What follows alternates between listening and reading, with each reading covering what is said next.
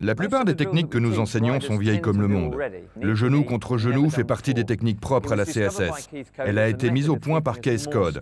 C'est une méthode qui permet de rester bien stable lorsque nous passons du côté droit au côté gauche de la moto et que nous décollons nos fesses du siège. La technique du KTN permet au pilote de passer d'un côté à l'autre de la moto dans une chicane ou un S sans déstabiliser la moto. Voici les erreurs à ne pas commettre. Si vous êtes assis comme ça sur la moto, collé au réservoir, au moment de bouger, regardez ce qui se passe avec ma jambe droite. Elle va avoir tendance à s'éloigner et se décoller du réservoir.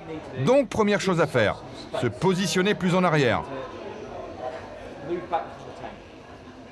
Il faut en gros pouvoir passer votre poing entre l'arrière du réservoir et vous. Pas plus, pas moins. Vous voyez l'espace que j'ai? Regardez maintenant. Quand vous glissez de droite à gauche, votre jambe se bloque à ce niveau-là. Vos jambes restent donc bien calées. Quand vous bougez sur la moto, vous gardez une certaine stabilité. Donc on est sur la moto, en position, et on cherche à aller de là à là, car on arrive à une entrée de chicane. En faisant comme ça, vous prenez appui sur le guidon. Vous n'êtes pas stable là, et vous perdez la maîtrise.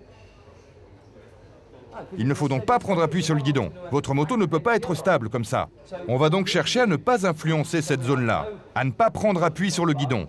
On va glisser sur sa selle de gauche à droite. Vous avez vu? D'accord? Cette position n'est toujours pas bonne. Il manque quelque chose. Devinez quoi? Les points de contact, tout à fait. Mes genoux doivent venir se caler contre le réservoir. Au moment de glisser, il y a un espace libre ici et mon genou vient se bloquer contre la moto. Donc cette zone-là, encore une fois, comment va-t-on faire pour la stabiliser? Avec le guidon. Alors, cette technique du genou raconte? J'ai eu du mal. Vraiment J'ai essayé encore et encore, mais ça vient pas naturellement. C'est encore trop mécanique. Fais attention à bien caler tes genoux contre le réservoir. En glissant sur ta selle, tu passes d'une phase de stabilité à une phase d'instabilité. C'est à force de le faire que ça viendra. Mais tu verras que, une fois que tu maîtriseras cette technique, tu gagneras en vitesse et en stabilité.